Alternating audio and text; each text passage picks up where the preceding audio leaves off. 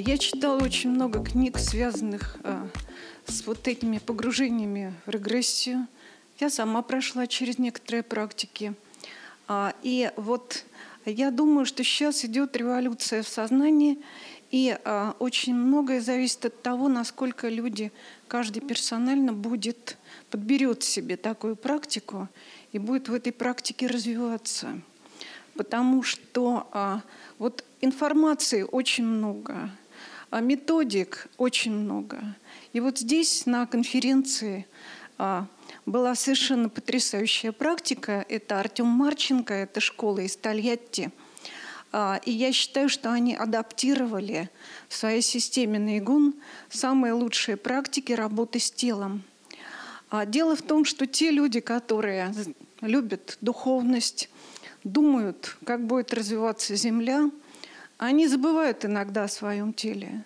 Тело, тело оно мешает, оно иногда болеет, оно как бы вот а, мы не воспринимаем его. То есть я знаю много людей, для которых тело имеет значение только когда они заболели. А для других людей тело имеет значение, когда а, а вот они живут реальной жизнью, и для них вот ментальные, интеллектуальные, духовные проблемы, они на втором месте.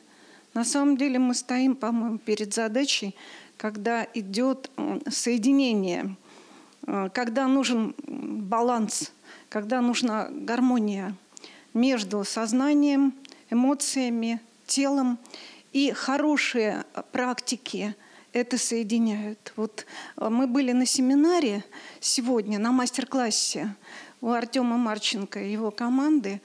А, они потрясающе взяли самое лучшее, по-моему, из а, китайских практик. Ушу, тайцзы. И они уложили это на отечественную почву. Поэтому а, их курс просто замечательный. Но они, к сожалению, в Тольятти.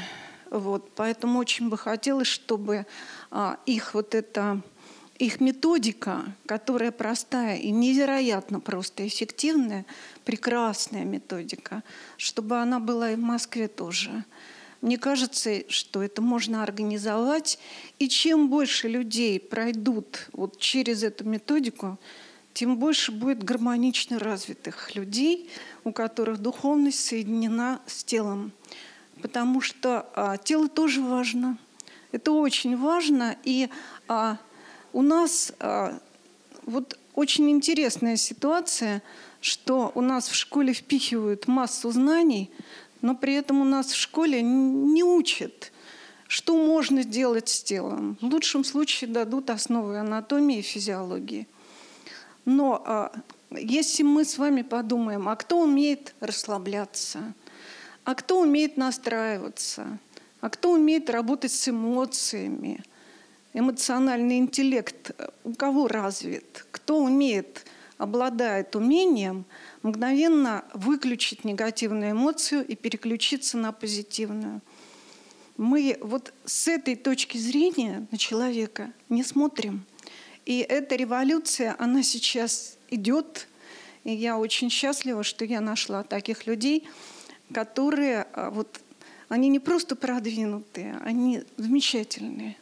Они такие светлые, ясные, гармоничные, и они владеют вот этими методами. Поэтому я очень прошу, чтобы а, их семинары проходили в Москве, и, наверное, очень хочется, чтобы о них как можно больше знали.